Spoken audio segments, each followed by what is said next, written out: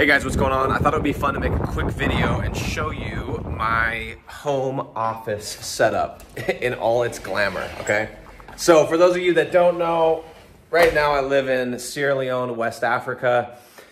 Chances are you probably have never heard of the country unless you've seen the movie Blood Diamond. Um, Leonardo DiCaprio, shout out to Leo. Uh, but yeah, let me just show you guys my office setup. And the reason why I want to show you, number one, is I think it's interesting sometimes to see people's little setups. Number two is I'm going to tell you a story about one of my students and how he thought that his office setup was losing him deals. Okay, so let me show you this first and, and get ready because it's pretty glamorous. By the way, I'm in my master bedroom right now. The view is unreal, right? This is the view from my bed. Crazy. Um, however, here's my setup. Okay, this humble, this humble little desk. Okay. By the way, I had this desk made. Uh, a friend of mine, he does um, woodworking and stuff like that. So I had to make this desk. Uh, and that's it. It's just a desk. I bought this office chair here, which is actually a pretty nice office chair. Brought my computer. And that's it. I have some, some papers. This has a story to it. I, I, rented a vehicle of mine to a mining company that absolutely trashed the car and I didn't keep good tabs on it and so it was my fault. So this is like a constant reminder that you need to, if you're gonna assign something, if you're gonna do something, make sure that you keep tabs on it. Make sure that you have people in place, systems in place, whatever, to make sure that you don't get robbed blind and I really got taken. So this is a a light that they fixed on the top of my vehicle because this was rented to a mining company out in this little village. And uh, yeah, so that's there. That's it. This is my setup, okay? This is my setup. This is where I run a multi, multi, multi-million dollar company from this silly little setup, okay? Let me sit down and tell you the whole moral of this story. What a backdrop, right? We got this fancy curtain here. Um, many of you have seen my videos. Maybe I could put this down so you guys don't have to have me all shaky Steve on you. Maybe, let me see. Uh, yeah, okay, there we go. Uh, yeah, long story short, guys, the whole point of this is I wanted to mention, I remember I had this student, and he's still a student, but I had this uh, student, and he told me, he said, you know what, Nick, when I used to see your videos, I would see uh, you were having success, and I would see these videos you were sharing in these other groups, and you know, he's like, this sounds so silly, but I, because I always talk about this, right? Everybody has their yeah, but. Yeah, Nick's doing X, Y, Z. Nick's doing this amount of money. Nick's doing 20,000 a month. Nick's doing 100,000 a month. But I have this thing and it's the reason I'm not going to be able to do that amount of money, right? Or yeah, Nick's doing it, but he has sales experience. I don't. Nick's the whatever, right? Everyone has a yeah, but. And so um, his yeah, but basically his excuse, his objection was that he didn't have a nice background. He didn't have a nice backdrop. He just had like a wall, not like this, a way nicer wall than this. And so he said to me, he's like, I thought that I could never get to a certain amount of money because I didn't have a nice backdrop because I saw you and you had your bookshelf. Some of you guys have seen my videos in my house in the US. And so I just want to show you guys.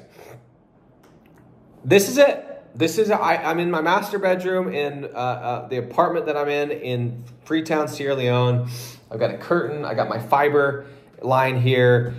It, guys, um, the thing that's interesting is, you know, can those things help? Yeah. Can they create a nice uh, image? Yes. And I'm not saying that you should purposely try to look, you know, like you're broke or purposely look like but like this is the situation right? This is this is what it is. Like this is africa. This is where i'm living. And so i don't think that you should necessarily try to make it look like a certain way but um, i don't think it's bad. But what i want to say is that you can you don't have to worry about these type of things if you provide results in advance.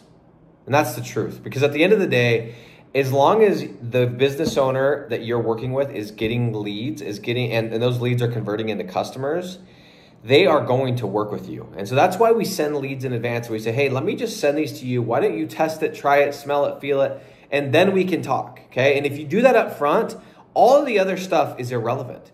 Eh, that's it. They're, they're not going to care what your backdrop looks like, what you drive, what your team looks like at the end of the day, if they're making money, that's what matters. And so a lot of times what happens is people, they don't want to put in the effort up front. They don't want to do the value in the, the results in advance, the value first. And they want to go and close the deal. And I'll tell you, if I'm just calling you out of nowhere and I'm like, hey, let's hop on a Zoom. I'm going to try and close you. This might be a little bit more of a tough sell because I'm sitting here going, hey, look, um, you know, this is, I'm supposed to be crushing it. I'm supposed to be this, you know, whatever. That might be more of a sticking point. But when you're providing results in advance, it doesn't matter. Who cares that I, who cares what my setup looks like? Who cares that I'm in my mom's basement? Who cares that my team looks like this or that I'm, you know, some people like, oh, I'm only this age, I'm only 18, I'm only 19. Guess what? That's not a problem because you are providing results in advance. So, guys, again, this is my janky little setup. I love it. It's simple. I have a computer. I have some some. I could probably get rid of half these papers. I've got my light that reminds me to don't be an idiot, and it is very refreshing. It's kind of that minimalism type of feel right now. And I, I just sit there. I have my I just have my notebook, my laptop, and I'm just I'm working on the business. I'm trying to create, you know, the best service possible in my lead generation agency my digital real estate business as well as in my program in digital uh, landlords. I'm trying to make the the, uh, the best program to make money on the entire internet. And so um, don't worry about your setup. If you're someone that has to work at a coffee shop because you live in a tiny little place in, the, in a dorm with your buddies, who cares? That's completely fine. Or you're somebody that's, heaven forbid, has to live at their parents' house because you're trying to get back on your feet. Who cares? I have one of my students that lives or did live in, in his parents' garage because, uh, well, he worked in his parents' garage and lived in an RV outside of their house because his house burned down. But guess what? The guy got to, I think, ten, twelve thousand dollars per month um, because he was providing results. So don't, guys, focus on the result. Focus on getting your clients results. Focus on having the best service out there. And again, this doesn't mean that you should try to make it look like you're freaking broke as a joke. Um, but in my situation right now, this is it. This is where I'm at, and, and I'm loving every second of it. And so um, that that is that is the message. That is what I'm here to tell you guys. Stop stressing. It doesn't matter near as much as you think, but provide the results in advance, and all these things are secondary. I'm out.